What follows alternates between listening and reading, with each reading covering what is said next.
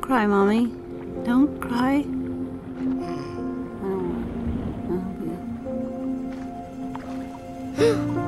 Dory. Dory? Dory? It's the middle of the night. Dad, Dory's sleep swimming. She's talking in her sleep. Hmm, Dory says a lot of things in her sleep, okay? Hand me the ratchet wrench so I can fix it. But Dad, what if she starts sleep swimming again? I'm sure this was a one time thing. So can we just all go back to. Dory? Dory! Dory! I remembered something. That's not possible, is it? Okay, is it like a picture in your head and then you think I've seen this before? I just used the word before, which means I, I'm remembering something.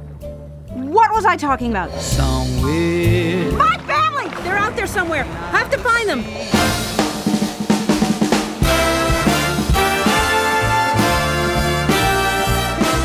I remembered something important. Something important? What? Something about a clam or No. no an oyster? No.